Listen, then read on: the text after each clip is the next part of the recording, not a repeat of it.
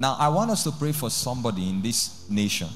I want us to pray for a dear man of God that I respect and I, I love so well. His name is Apostle Arome Osayi. And I'll tell you why I said we should pray for him. Seriously, we're going to take out two, three minutes to pray. Amen.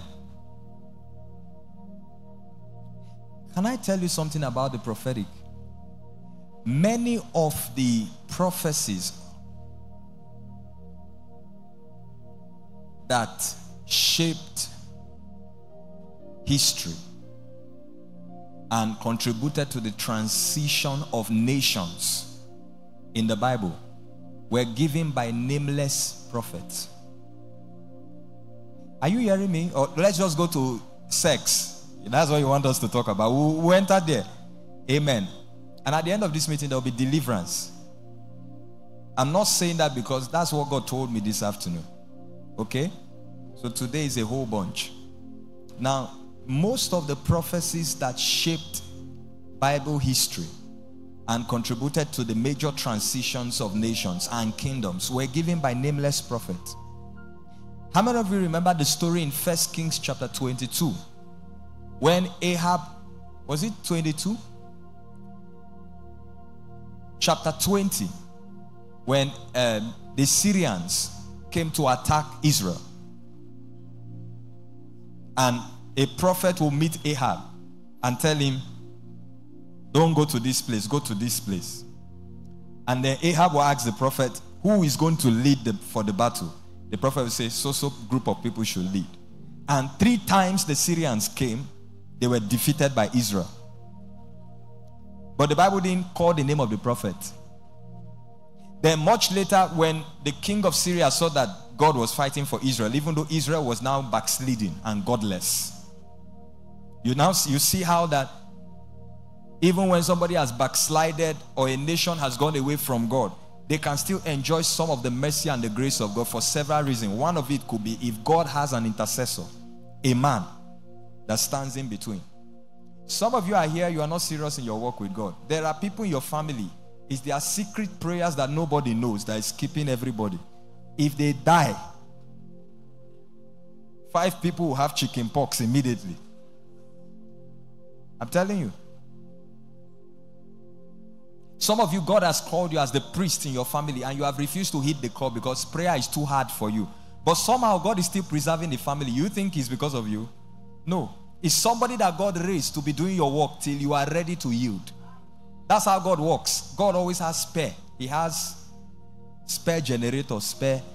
If God is calling you to do something, God has spoken to nine other people at least. Just in case you choose to follow the flesh and disappoint God because you choose pleasure over the things of God. And the truth is, if you must follow God and work for God, you will suffer. That's just the truth. But that suffering produces glory. A glory that when you see in it, you will dumbfound principalities and powers. Are you me? So there are some of you that God has called as priests, intercessors in your family. You know, you see it in your dream, but you have refused to pray. You are just going about your work and you're collecting your 150,000, 450,000, 750,000, and you are okay. But God is still keeping the family. You think it's because of you? or because of that chicken change of 100,000 naira you are sowing to God, you now think, you see, it's good to sow. But let me tell you something you can't bribe God. When God gives you an instruction, you do it. Amen. So God has already raised other people secretly to be doing the work till you are ready to yield. Some say, God, let me get married first. Then this your intercession thing will start. Amen. Since marriage is what. So, most of the prophets, and when, when Ahab now made peace with that king, the prophet came and told Ahab, he said, That man will revolt against you and he will plunder Samaria. The Bible didn't tell us the name of that prophet.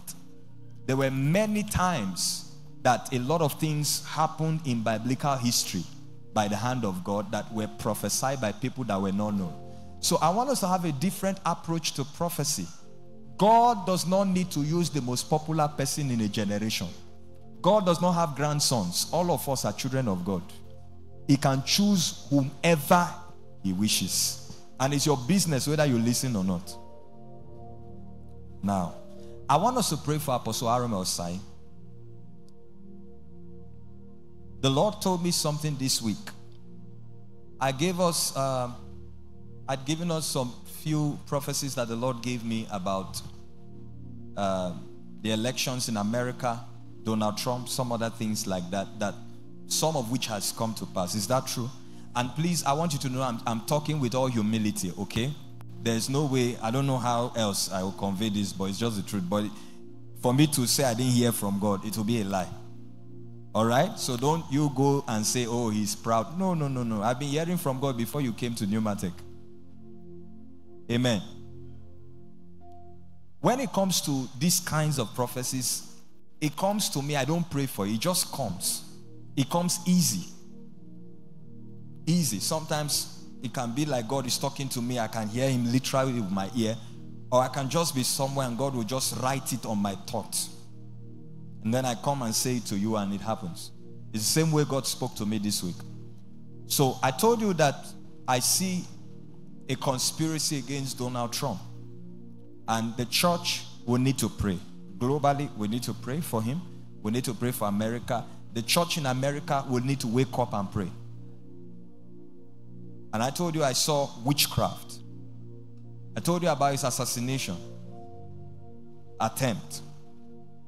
In was it when? February. And it happened last month, right? I told you about witchcraft. So there's going to be there's a lot of um, consultations with the forces of darkness going on in America now. And what they will do is they will not just fight against him. Now, I'm not a pro Trump candidate. Me, I'm a servant of God. Are you hearing me? It's good to just side with God. Men can change, God does not change. Amen? Good. So, they will not just fight him with witchcraft, they will fight anything and anyone that appears to stand with him. So, I saw a video of Apostle Arome Osayi prophesying again about witchcraft that will be used. How many of you saw that on social media? What do you look at when you go on social media? Okay, stay there. Amen. If I'm talking to you, I'm not interested. Let's just go to the teaching. Amen. It's, that's why God doesn't talk to many people. When He's talking, we are not interested. So He just keeps His things to Himself. Then when things happen, we now say, Ah, God, where were you? He was there. It's just that when you were fasting, you were interested in the time you will break your fast, not in what God will say. And when the time came for you to break your fast was when God now wanted to speak to you. Amen. So I saw a video about him saying that. And that shows you that the Spirit of God is one. Then this week, one of those days, God spoke to me and said, The church should pray for him. There's going to be an attack against him. There's going to be attempts in plural against his life. But I believe that the covenant he has with God and the mercy of God will keep him. And this is not something that will be hidden, it will be a national thing. Even him will come out and say it. There's going to be serious attack on him. And any other man of God that is going to stand as a prophetic voice. That means you also pray for me. Are you hearing what I'm saying? Hmm. Pray for your pastors. You don't know what we go through.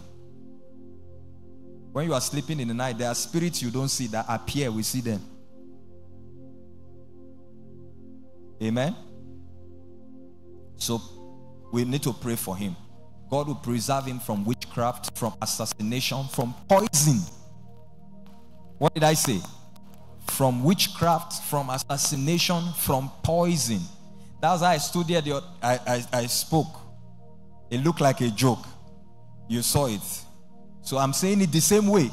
Take it seriously or don't take it seriously. But I've told you what the Lord said. Okay? Now let's raise a prayer for him. The reason why we are raising a prayer for him because he's a borrowed mercenary to the United States. All right, idolatry, perversion, immorality, mammon has has has eroded the gospel in America. So much so that if God does not do a quick work, America is about to enter into serious apostasy. Are you hearing what I'm saying? So we need to pray for that man. You know, I was thinking about something. There are some men of God, when you look at their preaching schedule and their itinerary, please, you can be seated if you want to. If you look at their preaching schedule and their itinerary, they preach every week. So it looks like you don't have time to prepare a sermon, right? So there are some men that, because of their work with God and their labor in the presence of God, in the word and in prayer, these men have become like libraries in the spirit. This is what God showed me today. Are you hearing me? You guys are not interested. Let's go to the teaching. Amen. Now I'm talking under the anointing, though. Forget that I'm calm like this. I don't know your own. There are some men, that's what the Lord showed me today. There are some men that you know a library, you know a shelf with books, different books there are some men that's how they are in the spirit realm. We can't lose a man like Apostle Arome. What I'm saying? So let's let's pray for him in two minutes. Now we'll use him as a point of contact to every servant of God, every genuine servant of God currently in the United States. And all the servants of God in Nigeria will pray for preservation from evil preservation from death, preservation from witchcraft attacks, from assassination attempts, from, from poisoning. Please pray. Barashi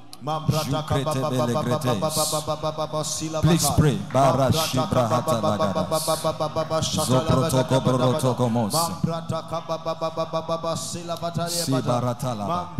Preserve your servants, Lord. Preserve them. Preserve them. He said, touch not my anointed and do my prophet no harm. Preserve him. Preserve his family. Preserve his ministry. Preserve his, his reputation. Preserve his work. Preserve your work through him. Let angels be deployed around him.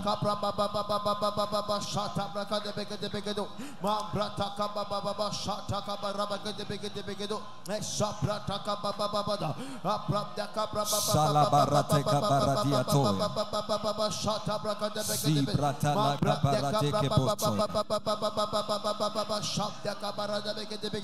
Preserve preserve preserve.